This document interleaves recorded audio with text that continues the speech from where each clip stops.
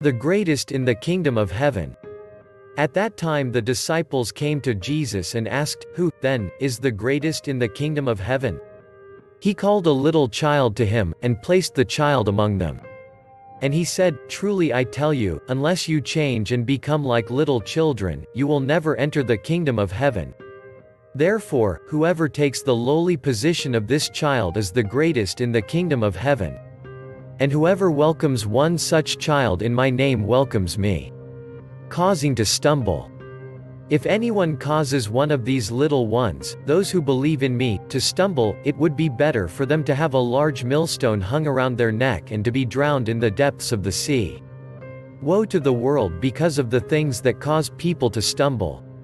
Such things must come, but woe to the person through whom they come. If your hand or your foot causes you to stumble, cut it off and throw it away. It is better for you to enter life maimed or crippled than to have two hands or two feet and be thrown into eternal fire. And if your eye causes you to stumble, gouge it out and throw it away.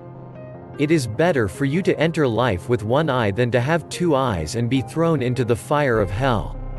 The parable of the wandering sheep.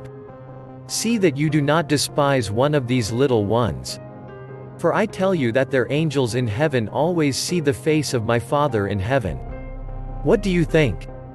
If a man owns a hundred sheep, and one of them wanders away, will he not leave the ninety-nine on the hills and go to look for the one that wandered off?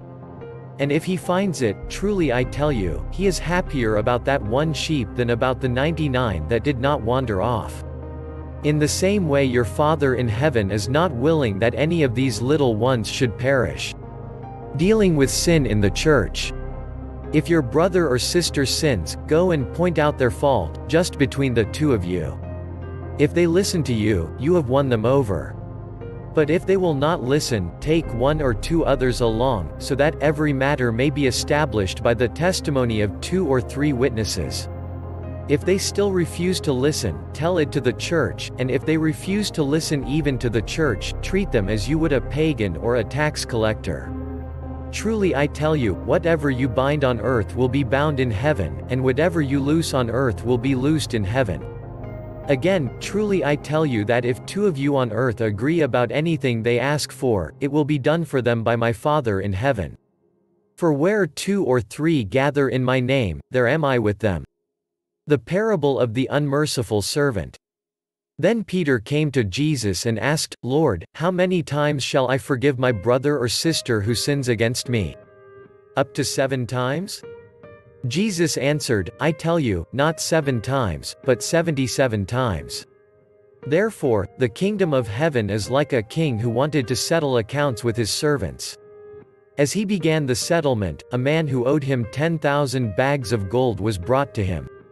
Since he was not able to pay, the master ordered that he and his wife and his children and all that he had be sold to repay the debt. At this the servant fell on his knees before him. Be patient with me, he begged, and I will pay back everything. The servant's master took pity on him, cancelled the debt and let him go.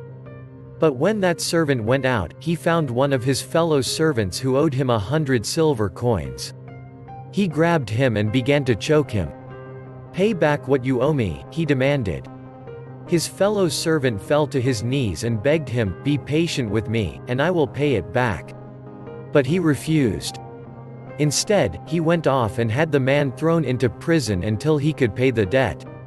When the other servants saw what had happened, they were outraged and went and told their master everything that had happened. Then the master called the servant in. You wicked servant, he said, I cancelled all that debt of yours because you begged me to. Shouldn't you have had mercy on your fellow servant just as I had on you? In anger his master handed him over to the jailers to be tortured, until he should pay back all he owed. This is how my heavenly Father will treat each of you unless you forgive your brother or sister from your heart.